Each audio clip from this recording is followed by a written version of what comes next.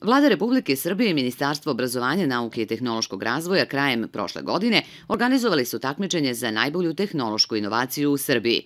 Iako je konkurencija bila velika, Eko Aqua Team iz rudnika Antracita Vrška Čuka kod Zaječara i sa Tehničkog fakulteta u Boru sa inovativnim proizvodom filter antracita osvojio je četvrto mesto.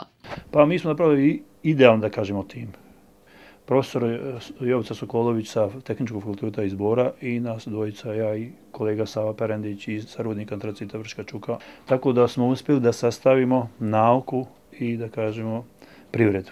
Karakteristike i upotrebna vrednost inovacije filter antracita daju joj više struki značaj, što je i doprinelo da žiri donese odluku i uvrsti je među prve četiri u zemlji. Po svojim tehničkim karakteristikama zadovoljava sve standarde evropskog standarda 12909 kojim se definiše kvalitet antracita kod tehnologije za prečišćavanje pijaćih voda.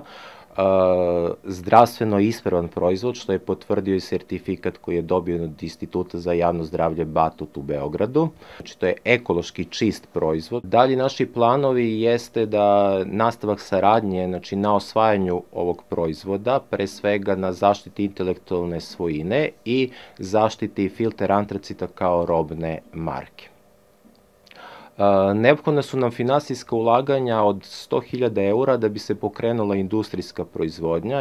Mi kada smo sagledali i uradili kompletnu finansijsku ekonomsku analizu, pokazalo se da sa tržišnim potencijalom koji filter antracit ima, pre svega na tržištu Republike Srbije e, i sa cenom od 750 eura po toni, e, sredstva od 100.000 eura se vraćaju za 12 meseci. Pošto pravila takmičanja inovatora nalažu pauzu od 5 godina između dva učešća, Eko Aqua Team će tu vremensku pauzu iskoristiti za promociju filter antracita, a nadaju se i veruju da će se naći finansijska sredstva za pogonsku proizvodnju filtera i plasman na šire tržište.